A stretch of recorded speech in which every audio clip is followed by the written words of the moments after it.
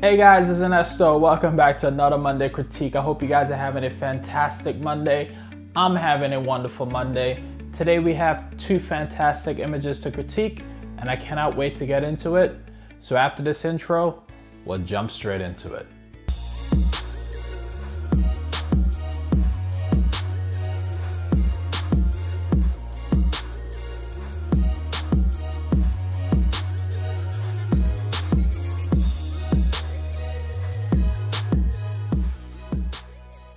If you guys want to submit your image to be critiqued, please join our Facebook group. It's called Fine Art Photography and Modeling. In that group, I created a specific thread where you could submit your images to be critiqued. Hey guys, welcome back. So we have a wonderful image to critique today. This image was submitted by this gentleman. Thank you very much, Rico, for submitting your image and welcome back. All right, guys, so now let's look at the lighting in this image. So in this particular image, what Rico have here is a very, very nice cinematic lighting. I really like it. It's very soft. So this seems like this rapid box, um, which is supposed to be like a beauty dish, give out a very, very good quality of light. And it appears it makes the light extremely soft, which is great because I really like how the light is basically complementing the subject really nicely. I really like how you're getting all that details in the sky.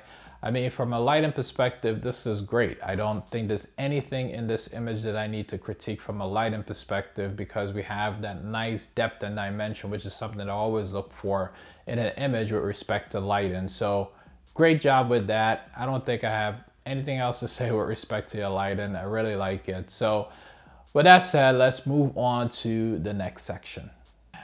All right, guys, now let's move on to the posing in this image. Overall, the pose in this image is great. Um, there's just a couple of things that I would like to adjust with respect to the posing that I think will help enhance the pose just a little bit more. So let's start from the top down, okay?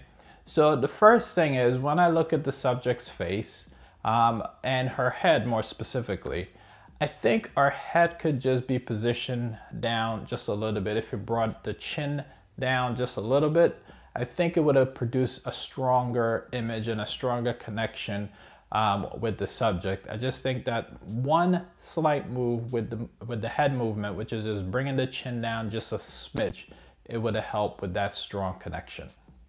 And one more thing, her head is slightly tilted this way a little bit. And I think if she'd have straightened her head and connected with that light just a little bit more, I think with the combination of her adjusting her chin down just a smidge and straightening her head, those two things, those two things would have helped make her connection a little bit stronger with respect to the light and also from a viewer perspective, it'll just make the image a little bit stronger with those slight adjustments with her head.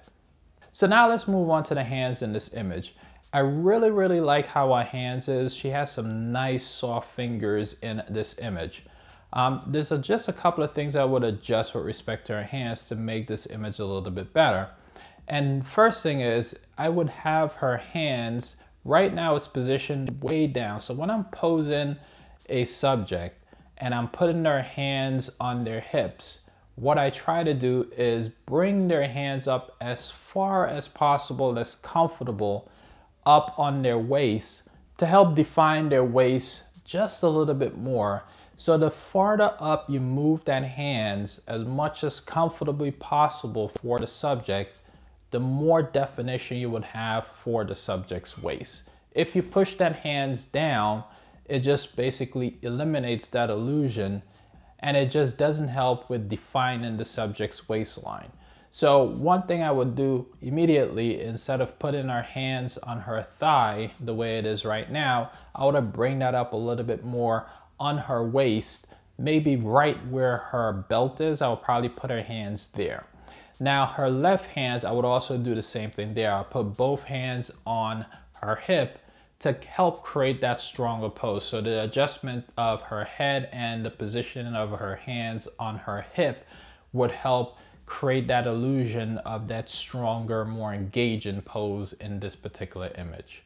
All right, so now the last thing in this image with respect to posing is her legs. Now, her legs, when I'm looking at her legs, just appears to be a little bit uncomfortable.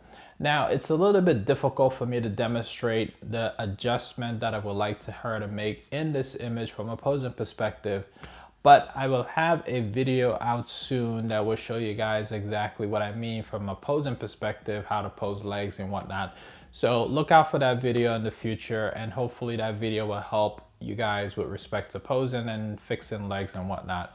But I just think from a, right now, looking at this particular image, I just think that the leg position just appears to be a little bit uncomfortable and adjusting it just a little bit will help make this image a little bit stronger. But forgetting the legs for a minute, if you just make those slight adjustments with our hands and our head, that will help create a more engaging and stronger image in my opinion.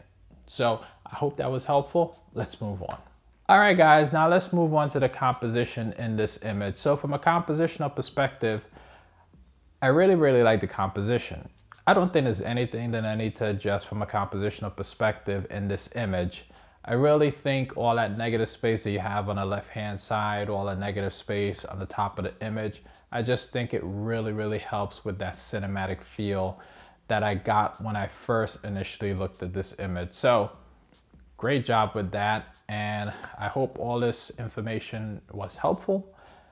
Well, let's move on. All right, let's talk on camera flash.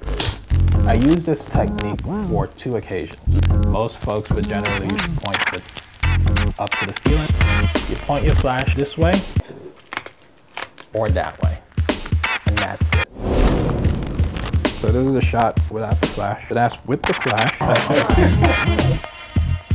we just wrapped up a on-camera flash workshop. So until the next time, I will see you guys on the next video.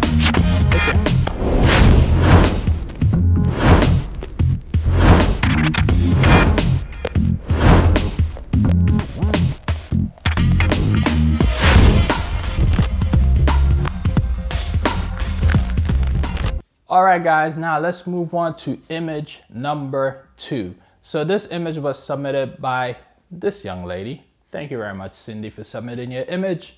Let's jump straight into it. All right, so now let's start out with light. So in this image, Cindy utilized natural light. And she also utilized a reflector to help bounce some light back into the subject's face to help uplift the shadows on the subject's face, which is great. So let's talk about a couple of things that's going on in this image from a lighting perspective and how we can enhance it just a little bit more. All right, so because we have the light coming in from camera right, which is the reflector that's bouncing light back into the subject's face. Because that light is on camera right, the problem that that light is creating is with respect to the subject's armpit. So right now there's a lot of light that's right now projecting to the subject's armpit. So it just draws a lot of attention in that area and you basically don't want to draw so much attention to the subject area because it kind of draws your attention away from the subject's face just a little bit. So that's the first thing. So the other thing is the light quality on the subject's face. Now, overall, the light quality on the subject's face is pretty good. I really, really like it. Um, the only issue that I have is with the shadows that's under the subject's eyes. So the only thing I would have done there is ask the subject to raise her chin up just a little bit so that that reflector that you were using could bounce a little bit more light into her face and help with those shadows under the eye. But other than that, I think um, from a lighting perspective with respect to the subject's face, I think overall the lighting is great there. All right, so the other thing from a lighting perspective is the light, the highlight that's on the subject's right shoulder. Now, I don't particularly mind that highlight so much, but if you wanted to get rid of it or reduce it, um, obviously the easiest thing that you could do is basically move the subject um, a little bit closer to you or basically get a diffuser to help diffuse that light source that's right from behind the subject and that would help just reduce that highlight a little bit. So those are the two things that you could have done if you wanted to get rid of it, which again, like I said, I don't mind it so much, but if you wanted to get rid of it, those are the two things that you could have done. Um, I really like also the fact that you utilize the water, which has that harsh light behind uh, the subject to help separate the subject a little bit from the background. I like how you did that. That's pretty awesome there. Um, I just don't like how harsh that light is on the water, but I really like the, the use of um, how you utilize that light to help separate the subject from the background. So overall, from a lighting perspective, I really like the, the use of the reflector in this image to help bounce some light into the subject. And I really like how you separate the subject from the background. So that's it. I don't really have much more to say with respect to your light. So let's move on. All right, guys, so let's move on to the posing in this image. So overall, from a posing perspective, one of the things that I really, really like in this image is the subject's connection to the camera. Um, and I also love the expression. Expression and posing go hand in hand. Um, you just can't have a pose without having a great expression. And I really, really love the expression from the subject in this image. Um, here's a couple of things that I would have adjusted from a posing perspective in this image. So the very first thing that I would have adjusted in this image is just straightening the subject's head just a little bit. So right now it's a little bit like this and I would just ask the subject to, to straighten their head just a little bit more so it's more straight on to the camera. That would be the first thing that I would have adjusted. The second thing that I would have adjusted is her hand that's right now on her head like this. I would ask her to basically come over a little bit like this so the hand is not hanging off of her head, you know, like this. Right now, that's what's causing her to bend her head in this fashion. So if her hand was a little bit more over on this side of her head, I think that would help her to straighten her head and it will make the hand appear a little bit more comfortable. All right, so the second thing I would have done in this image is her right hand that's right now on her shoulder here, I would have asked her, instead of putting her right hand on her shoulder in this fashion, I would have asked her to bring her hand over on her face on this side, which would have helped frame up her face a little bit more because now this hand would be here and this hand, instead of it all the way over on this side, you know, she bring it over this way, then it would have been a little bit more you know, uniform and it would have helped frame her face a little bit more. Now, by her straightening her head just a little bit and raising her chin, which would help her also with those um, shadows under her eyes, that would help her connect a little bit more on to the camera. And I think those slight adjustments from a posing perspective, I think would help enhance this image just a little bit more. So that's it. That's all I have to say with respect to the pose and I hope that was helpful. All right, guys, now let's move on to the composition in this image. So from a compositional perspective, here's what I would have done from a compositional perspective. I really like the subject's connection to the camera. Now, I would tried to expose that just a little bit more by coming in with a tighter crop on the subject's face. Now, this would also help eliminate those little bit of distraction that we talked about from a lighting perspective, which is the light that's on our um, right shoulder, which like I said, doesn't distract me that much from the image, but if you wanted to eliminate it, that's a third way that you could eliminate that little bit of a light um, distraction on our shoulder. And you also, you could also eliminate the distraction, which is our armpit. You can help eliminate that by coming in with a tighter crop. And lastly, by coming in with a tighter crop, you could also help distract a little bit of harsh light that's in the background, uh, just a little bit.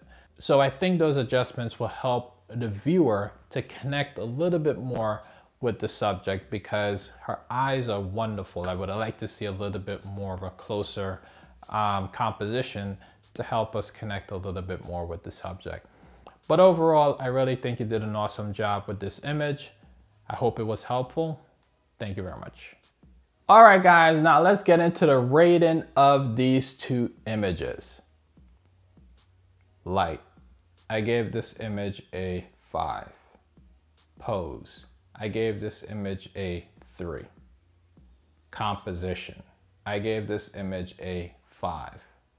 Overall, this image received a rating of 4.33 out of 5. All right, guys, now let's move on to image number two. Light. I gave this image a 4. Pose. I gave this image a 3. Composition. I gave this image a 4. Overall, this image received a rating of 3.66 out of 5. All right, guys, that is it. Thank you so much for submitting your images. I sincerely, sincerely appreciate it. Guys, I hope you guys got a lot of information from what I had to say, and I hope the viewers got a lot of information from what I had to say. If the viewers of this video have any additional helpful information about these images, please drop that information down below and let's keep this conversation going so it could help the image creators and it could help the viewers of this channel. Guys, if you enjoy this video, please give it a thumbs up. Please put some comments down below. Let me know what you think about my review. And guys, please share this video with your friends and family. And lastly, if you got this far in the video, you must be enjoying the content. So please hit that subscribe button. And guys, I will see you on the next Monday Critique show.